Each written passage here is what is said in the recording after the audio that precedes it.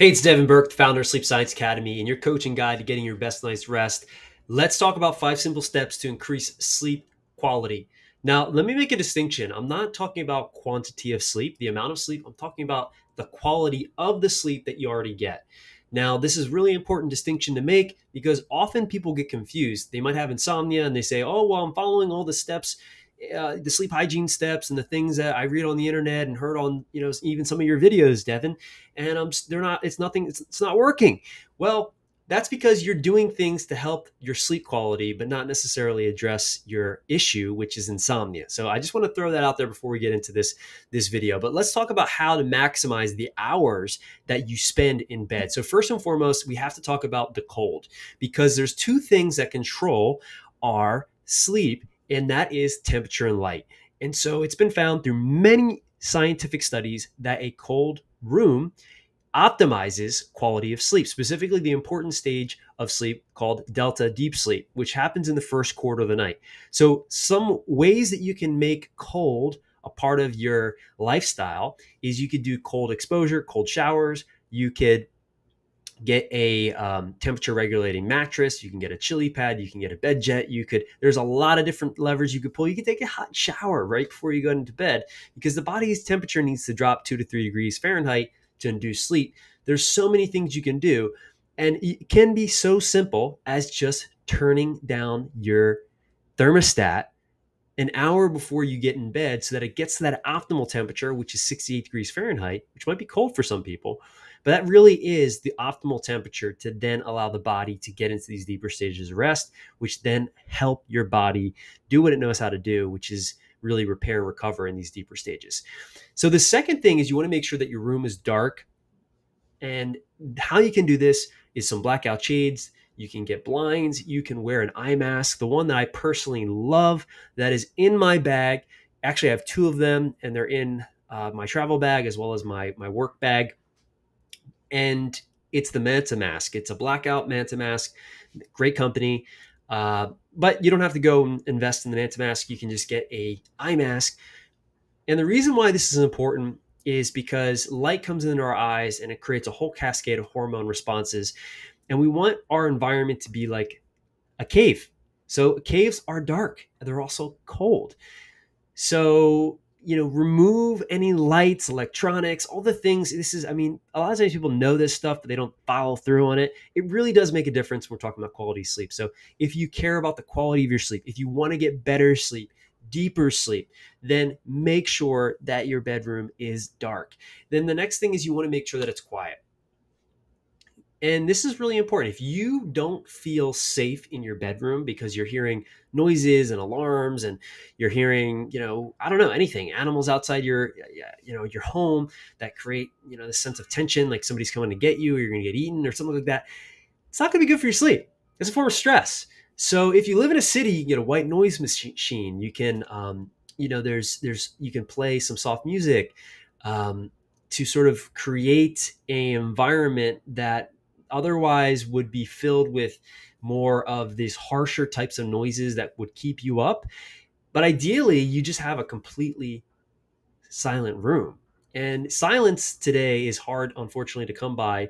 Um, so we have to be very intentional about creating it. So even having some uh, noise deadening uh, objects in your bedroom, like some, you know, you could put things on the wall or you could have plants, things that kind of absorb sound would be a good idea because the quieter your bedroom is, the better off it is for your sleep quality. The next thing is food.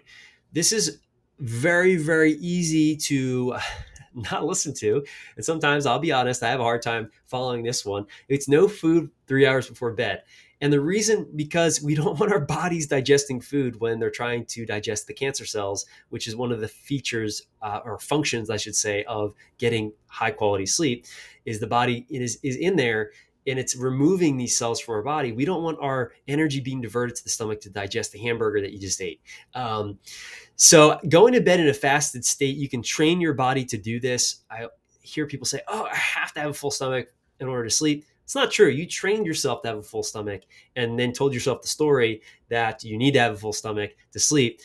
And it's just not a true true you know true story you can literally train yourself just like you would go to the gym and train yourself for a marathon you can train yourself to go to bed on an empty stomach and it's actually the optimal way to create the best quality sleep so if you watch any of my other trainings or videos you know you know the 321 sleep 3 is 3 hours stands for 3 hours before bed no food. And this is a big one. It's not just what you eat, it's also when you eat it that makes the difference when we're talking about sleep.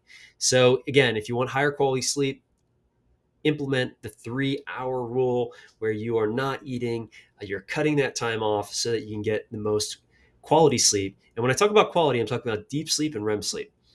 The last thing here, and this is the biggest thing that most people overlook, and I love to talk about this and because it's you know it's it's very subtle and tricky for people, but really just understanding how your body holds on to stress and how to release those stress patterns throughout the day makes a massive difference between you know getting a great night of quality sleep or having a fitful night of poor sleep.